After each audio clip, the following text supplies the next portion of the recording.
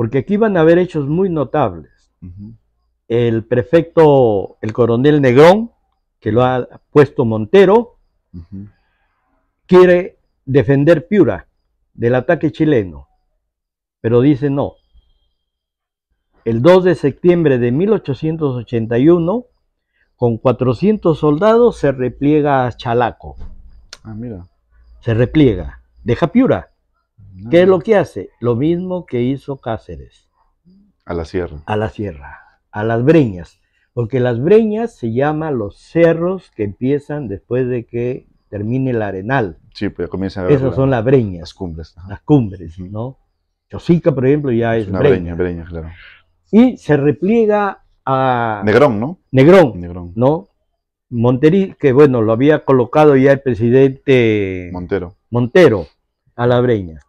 Quiere hacer lo mismo que ha hecho Cáceres, que ha hecho el coronel Albarracín, Albarracín. en Tacna, o Luis Pacheco de Céspedes, el cubano que peleó por el Perú, o León Soprado, León Soprado. el hijo del presidente, Presidente que creían que Prado. era traidor, pero no. Él estaba No. en Ecuador, creo, en esa época. En Colombia se había ido, creo, ¿no? eh, Bueno, a- es una historia a- polémica también, creo. a, a Europa, pero A Europa, perdón. sus sí. hijos Pelearon, todos pelearon. Entre ellos Soprado. Soprado. Su, su- su muerte fue bien.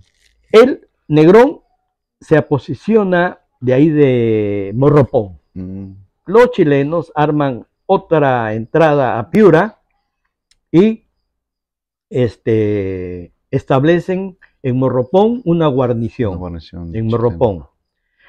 Cuando están en Morropón, van a sufrir hostigamiento por los breñeros. Claro. ¿Y quiénes son ya estos breñeros? Los bravos hombres de Frías. Frías. ¿no? Y el 25 de noviembre de 1882, una fecha que debe ser eh, fecha cívica en la provincia de Yabaca, en la quebrada de Pambarumbe, Pambarumbe, 25 de noviembre de 1810, patrullas chilenas son destrozadas, emboscadas y destrozadas. Eh, sí. ¿Y quiénes son ahí estos veñeros, estos patriotas? Vicente García Córdoba, que lo voy a mencionar después porque este es de un alto sitial, Ujú. Abelino Calle Chumacero y Alejandro León.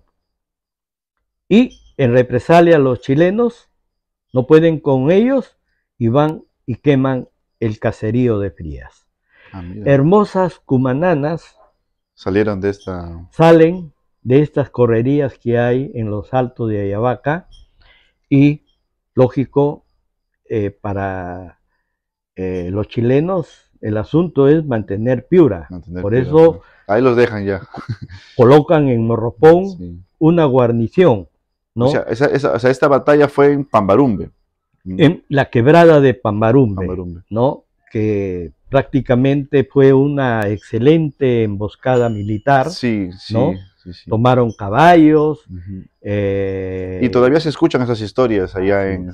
Yo Así cuando es. fui a Santo Domingo escuché esas historias de, de cómo defendían eh, la patria desde los chilenos, desde las peñas, a punta Así de piedra es. nomás los... hay una, hay una cumanana que dice, el chileno atrevido a Chalaco quiso entrar, Ah, chalaco. pero claro, no estaba en su libro lo que iba a pasar, claro. ¿no? Bueno, Negrón, cuando dice reclutamiento, porque me está pidiendo tropa tanto Iglesias como claro. el presidente eh, Lizardo Lizardo Montero, eh, también Ayabaca es quien le provee de gente. Y aquí hay un acontecimiento que es, creo, único o uno de los primeros jalones de la lucha no sindical, sino campesina y revolucionaria en el Perú. El 28 de enero de 1883, 28 de enero de 1883, Ujú. cuando Piura prácticamente estaba asolado, porque cinco prefectos el año anterior habían ocurrido, Había ocurrido, claro. que sigo a, a- a Iglesias, que sigo A Montero. a Montero, que Montero dice apoyar toda la breña de, de los caceristas, Los caceristas. los chilenos que entran y salen, porque no quieren estar permanentemente en, en Piura, ¿no? Más les interesa Chiclayo, Claro. ¿no? El, dije esta fecha para recordarla, el 28 de enero de 28 de enero. 1883, los comuneros de Frías, Santo Domingo, Pacaipampa capturaron por dos horas la ciudad de Piura. Al frente de, esta, de este grupo comunero, de más de 100, Juan Seminario León, Juan Seminario León Piurano, pero de los seminarios buenos, porque también hay de los seminarios eh, horribles. Terrible. Vicente García Córdoba, el héroe de la quebrada de De Pambarumbe, de la batalla de Pambarumbe, ¿no? no, combate, Combate, perdón. combate, perdón, combate, porque es de poca fuerza. Agapito García Moreno se presentan, tal vez aprovechando esta situación de acefalía, de anarquía, De caos, ¿no? Un poco. de caos, pero si uno hila bien, ¿por qué ellos se presentaron en, en Piura? Era porque sabían que los de Piura querían transar con los chilenos. O sea, eran fuerzas patriotas que no querían entregar, ¿no? Porque los chilenos se aliaron a iglesias, dar la paz, pero con la condición de entregar Arica y, ¿no? Y además, tranquilamente los chilenos decían, cupo, cupo, cupo. Y los señores algodoneros, los señores de Piura, Los hacendados de Perú. Les daban y daban, daban, total, decían, Claro. ya después a mi cholo los hago trabajar más, ¿no? A mis peones. Ellos no pensaban así. Mm, Ellos actuaron de una forma muy patriótica, pero además resentidos de los reclamos porque el gamonalismo eh, fuerte. interno, pero el de Piura, en el intercambio comercial que había de ganado. Siempre los habían explotado. Ah. Y siempre había un viejo reclamo y Piura muchas veces hizo dos hasta tres masacres en los altos de Piura, Ah, eh, asolando con soldados, con policías peruanos, asolando comunidades. Y este es un reclamo de ellos Ah, que mira. no Aprovecharon esa. Y estos más de 100 comuneros entraron Sí. no para matar, no para violar, entraron con sus machetes, sus fusiles, sus Contra el ponchos, prefecto, si no me equivoco. sus ponchos al grito de viva la comuna, Mm, porque aquí hay una cosa notable. Apenas han pasado pocos años del gran acontecimiento mundial que fue la Comuna de París, Claro. que en dos meses, marzo y mayo de 1871, fue la primera vez en la historia mundial en que los de abajo Se levantan. toman el poder. Los obreros, los campesinos, los comuneros, los, los sin nada, por primera vez en la historia, en la Comuna de París, toman el poder, ¿no? Toman, a- asaltan el cielo con las manos, diría algún teórico del marxismo, ¿no? Porque no, no están preparados, preparados para con- luchar con contra sea, un ¿no? ejército, contra cañones.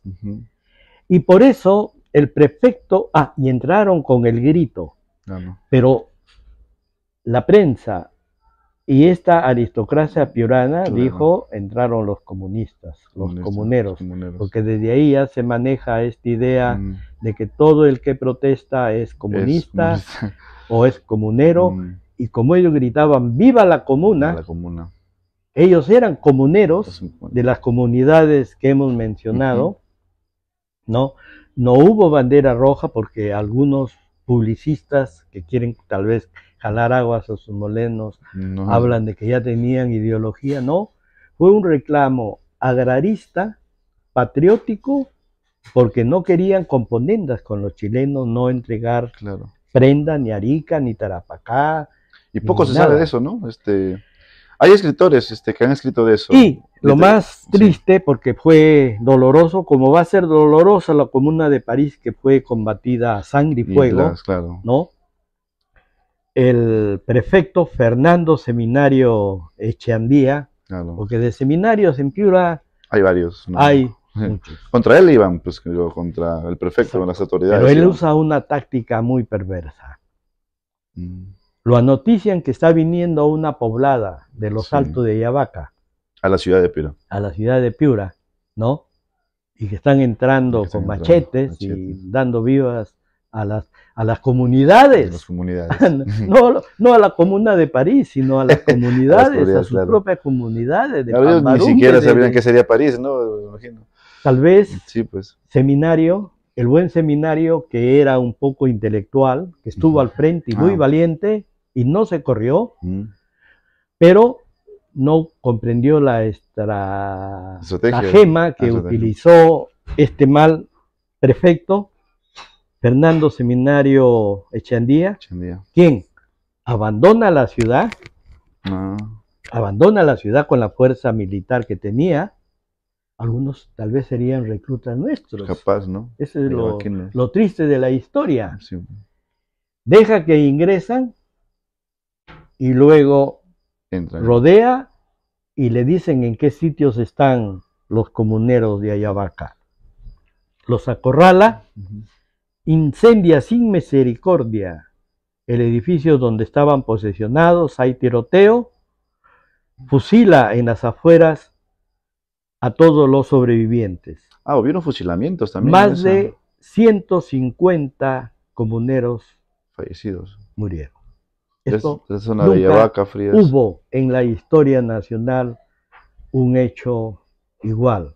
Claro. Y este No me hablen este- de Atusparia, de. Puno de los Bustamante, que también fueron insurrecciones, pero esta fue una cosa Y este Increíble. prefecto era de Iglesias, ¿no? De Miguel Iglesias. Era de la, de la facción iglesista, si no me equivoco, ¿no? Que estaba acorde con los chilenos, pues. eh, en- en- momentos muy aseados.